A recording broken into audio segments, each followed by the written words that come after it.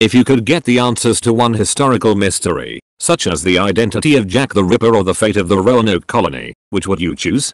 We're like 99.99 positive about what happened to Roanoke. They moved in with a nearby tribe. Who killed Steve Branch, Michael Moore and Chris Byers in West Memphis, Arkansas?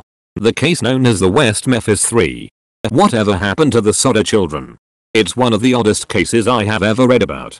Tea recipe for flexible glass that a Roman governor nipped in the bud because it was too revolutionary.